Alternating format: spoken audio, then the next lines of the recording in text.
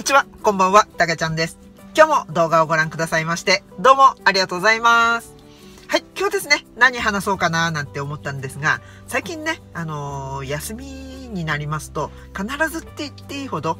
イオンモールにね、まあ、家族と行きまして、それでね、あのー、まあ、お惣菜を買ったりするだけなんですけど、まあ、家族もね、だいぶ元気になったんで、まあ、今までね、車椅子があるから、あの家族を乗せてねこう押していけるからあのイオンモール行ってたんですけど最近ね家族も自分でね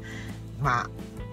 あ歩きたいっていう風にもね言うようになって車椅子もね本当に疲れてきた時だけ、まあ、家族がねあの車椅子に乗っていくっていうようなねそんな感じになってきまして本当にねあの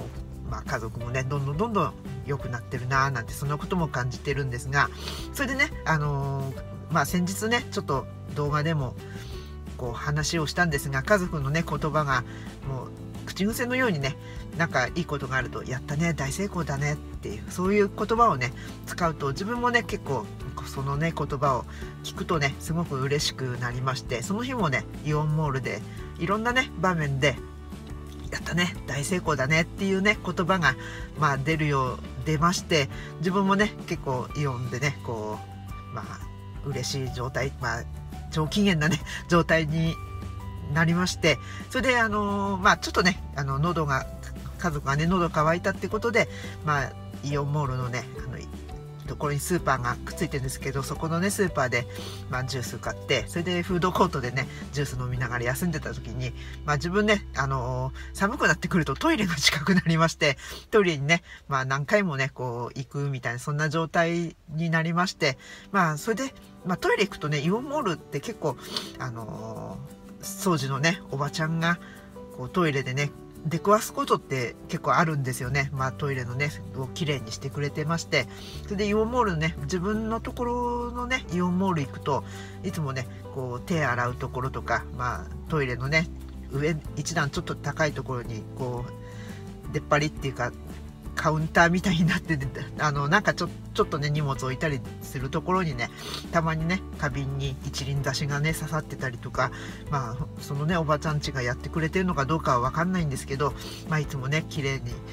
な、あの、なってて、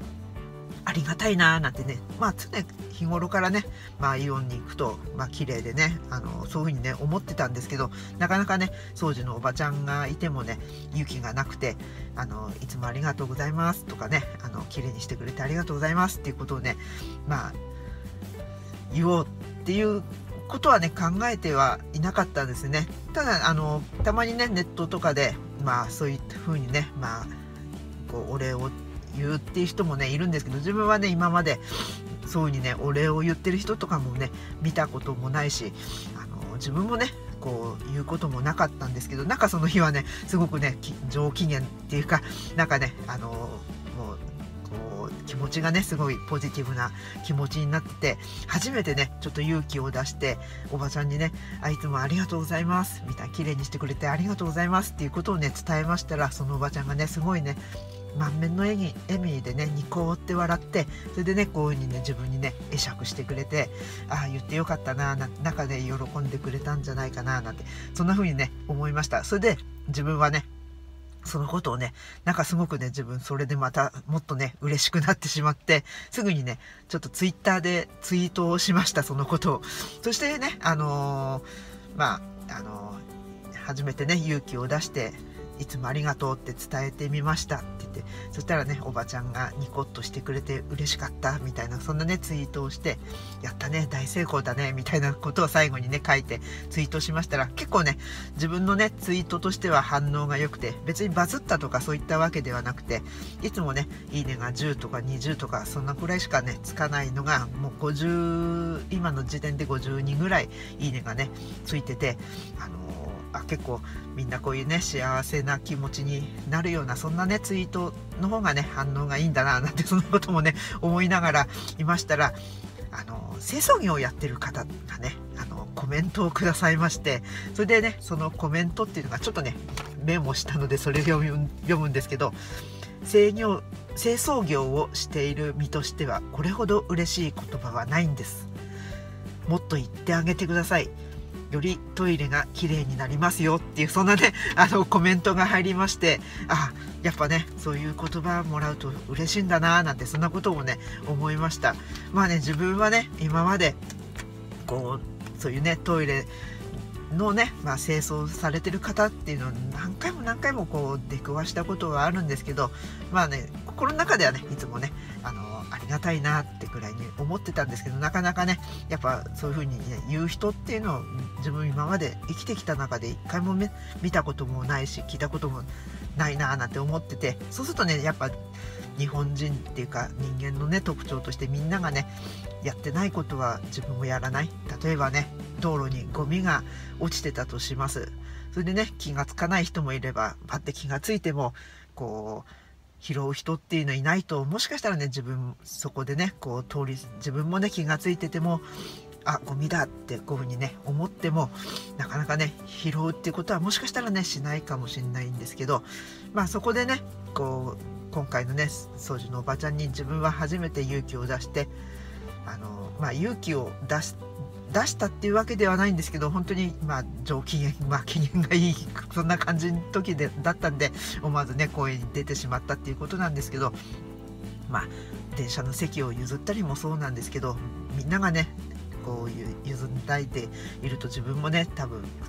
譲んないんじゃないかななんてそんなこともね、まあ、電車乗る機会ってあんまないんで 分かんないんですけど、まあ、ゴミがね落ちててみんな素通りしてたら自分も素通りしちゃうんじゃないかななんてそんな風にね思うんですけどちょっとねそこを一つ勇気を出して、まあ、ゴミを拾うっていうのも本当はね当たり前のことかもしれないんですけどみんながやってないとやんないっていう風なね、まあ、そんな風潮っていうかそんな感じに、ね、なってしまってるんでそそこでね、まあ、勇気を出してゴミを拾うとかね、まあ、今日そのね先日のイオンでおばちゃんにねいつもありがとうございますって声をかけるそういったことをね自分がしたことによってこれからね、あの、